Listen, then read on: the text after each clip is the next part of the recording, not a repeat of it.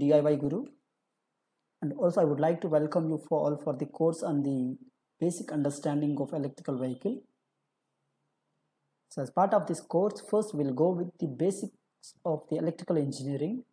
Uh, in today's session we will cover the Ohm's law and the voltage and current analogy with water. So just to understand the what is voltage, what is current and what is resistance. So Ohm's law. So when you go for solving an electrical circuit uh, to find any quantity so you must know the ohms law. So by the ohms law you can find the quantity any quantity. So here the ohms law is named after a scientist george ohm uh, which defines the relation among the current voltage and the resistance. So these voltage current and resistance are the basic electrical units that we work with in our circuits. So the Ohm's law is applied to both the alternating and the direct currents. So where the alternating current is nothing but uh, it is the alternating in nature like it changes with respect to the time whereas the direct current is fixed or it is constant throughout the time period. So it will not change with respect to the time. So this is the basic difference between the AC and DC uh, in the later course you will have the good command on this what is AC what is DC so as of now you just remember the AC and DC are nothing but AC is changes with respect to time DC is fixed. Now Ohm's law the statement. So Ohm's law states that the current flowing through the conductor is directly proportional to the voltage. So here it is the explanation. So let us take a conductor you can see in the picture there is a conductor.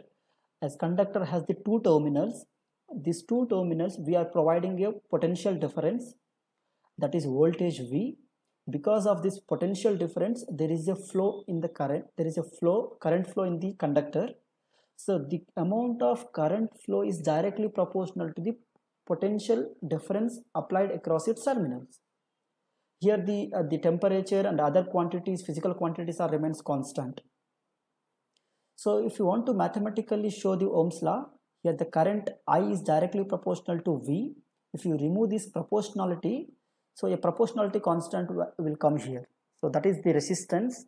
Uh, we, so finally we can write it as I is equal to V by R or V is equal to IR where V is the voltage, I is the current, R is the resistance.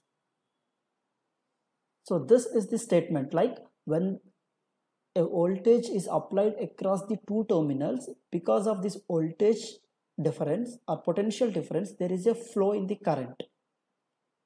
So this current flow is directly proportional to the potential difference applied across its terminals.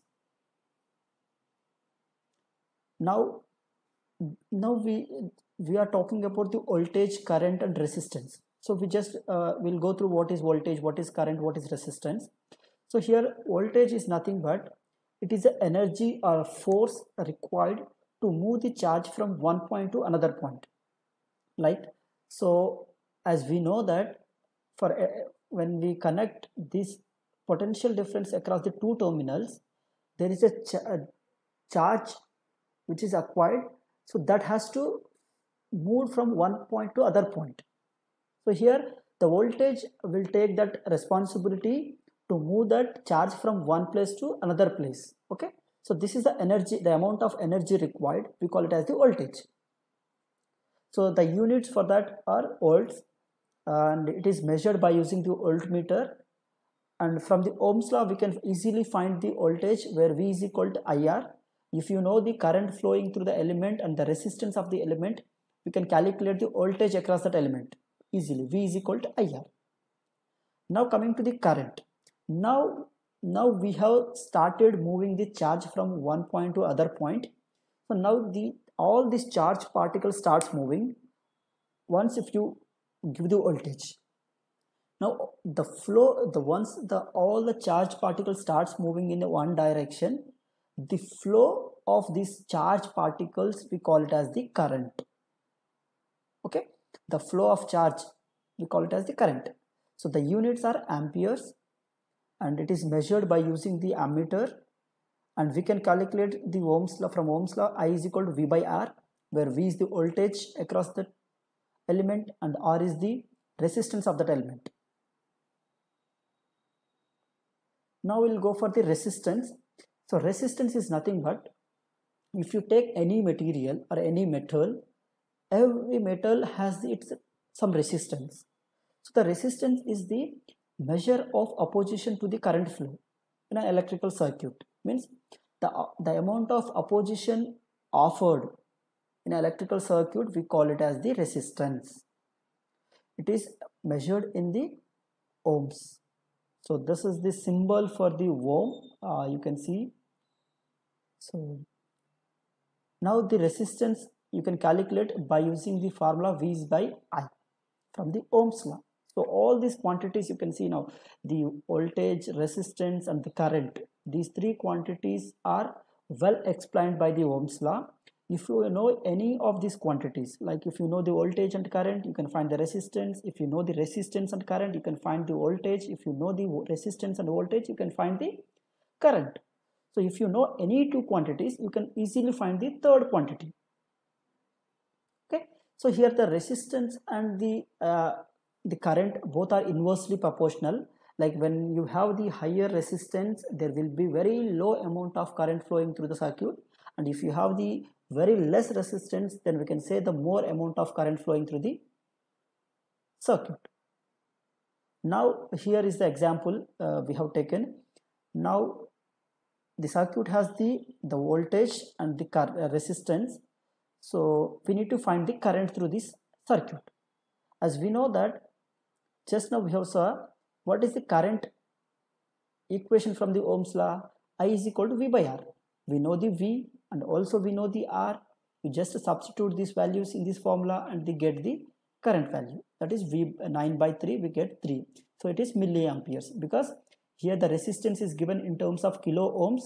We can we will get milliamperes because the resistance is in denominator. When the denominator will go into the uh, like uh, this kilo ohms will go into the numerator it will become 10 to the power minus 3 so we get milliamperes.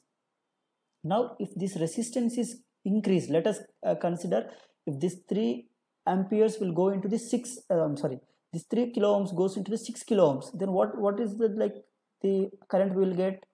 So definitely we will get less than this 3 amperes because 9 by 6 we will get will which is like a 3 by 2 that is 1.5 milliamperes will get definitely it will be less than the 3 milliamperes Now voltage and current analogy with water. So this is just to understand the voltage and current phenomena. Uh, you can just neglect this. You just uh, just to understand the understanding purpose only. I have provided this. Uh, here you can see there is a water tank filled with water, and you can see the pipe over there. The storage of this water, or the pressure of the water, or the height of the water is resembles the voltage and the the water flowing through the pipe is current. So when now here you can see this from this picture. When the height of the water increases definitely the flow of water is increased right means when the voltage is increasing current is also increases. Now the resistance when there will be some like uh, restrictions of the water in the pipe right caused by the pipe like uh, if anything gets stuck in the pipe or if you have any other uh, materials in the pipe so they will stop the they will try to uh, push the water back right or they will try to stop the water. That is nothing but the resistance. Okay? So from this uh, water analogy you can understand what is voltage what is current what is resistance okay so this is what about the voltage current and the resistance and the ohms law thank you uh, if you have any queries, you can reach out to the DIY Guru. Thank you.